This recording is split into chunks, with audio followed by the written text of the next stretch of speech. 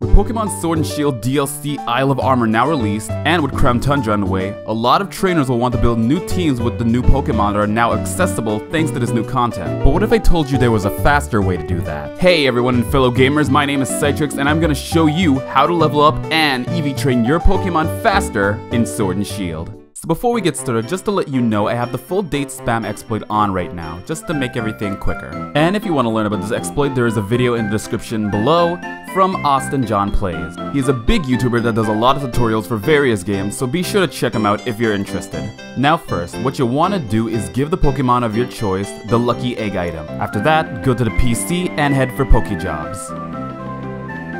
You're gonna want to select the highest job possible. In this case, level 30 then set it for the whole day. And then watch the magic happen.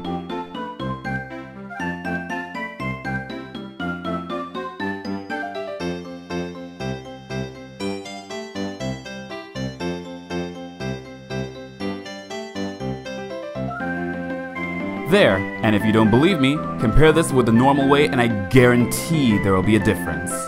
Now we'll try EV training. Just do the same thing, except give your Pokemon a power item that corresponds to the stat that you want to work on instead.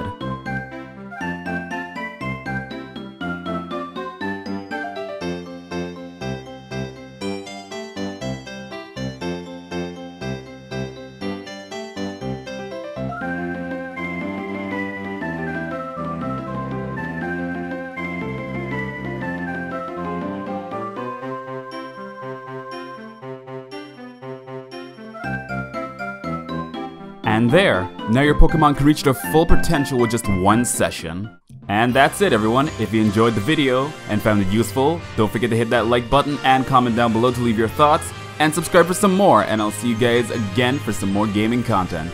This has been Psytrix, hope you all stay freaky, stay safe, and have a good day.